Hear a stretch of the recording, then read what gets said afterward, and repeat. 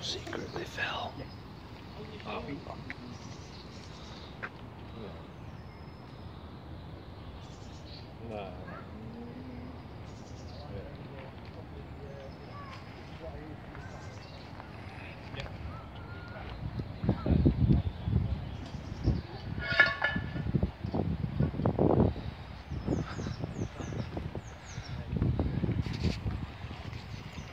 Well, Did you get them as a set? Yeah, it's a two nice sets. I want to. I'm going to not split the sheet out. I'm going to make two sheets. So I can sheet them separately. Ah, right, okay. You get- Is it the one, is it the one that they sold on the bushcraft store? I don't know. It was on. I've seen it.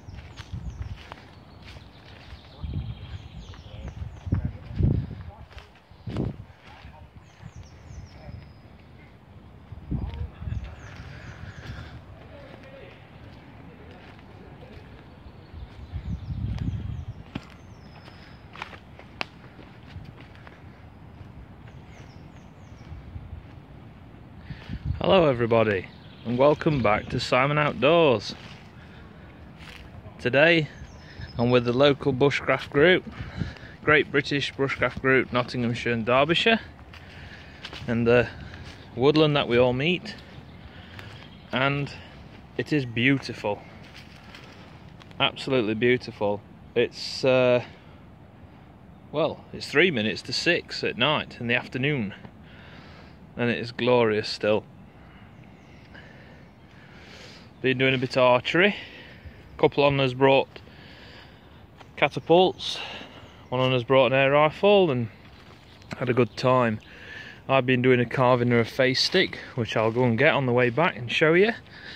One of the other guys is carving a spoon. Well, more of a ladle. But it's just lovely to be outside. It's absolutely great. We're in a different spot in his woodland. Uh, so it's close to the cars and there's more wood around. Well, you look at twigs, but there is other pieces of wood around that we can use for fire. As back where we were, we depleted it a little bit. So I've been getting some more cramp balls. I've processed the horseshoe fungus, which we'll go and take a look at now. So I've got some fresh cramp balls in there I've just dried out. A couple old ones here. This horseshoe fungus I've just boiled and then dried. And as I was drying, it caught fire, so I had to cut that piece off. Uh, so it's still rock hard. I'm not going to beat it and make it soft because you can get a, uh, a spark to it. Well, I actually used my lighter last time. My friend gave me another little tin for charring in. So in here, I've got some more horseshoe fungus that I've charred, and that does work. So this is my bed. It'll get tidied up before bedtime. Now this is a stick I started at Beehive Bushcraft. I can get a better lighting. And this was actually going to be a moustache well the moustache was actually going to be part of the bark. But then I decided I'll do it lower down. And then when I came to do a mouth I just couldn't decide. You can probably see that I did a a faint cut there look like a giant smile. I thought it just doesn't look right. So I left that as the as a mouth. I think it looks alright I've just done another one which is a bit more bizarre So that's the nose there. That's a bit of a tash.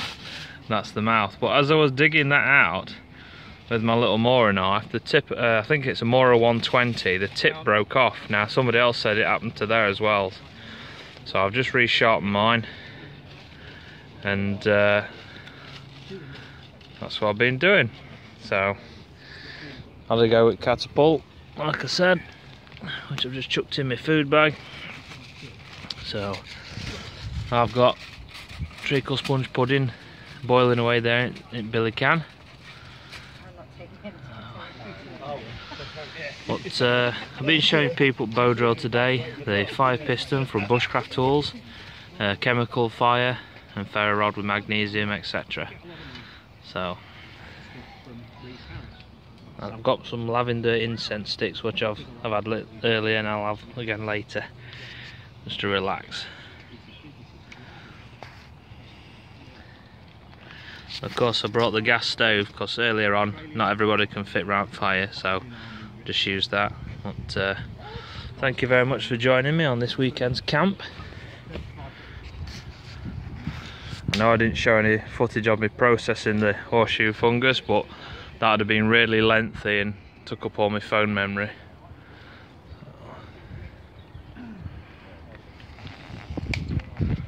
So I'll say thank you very much for watching and bye for now.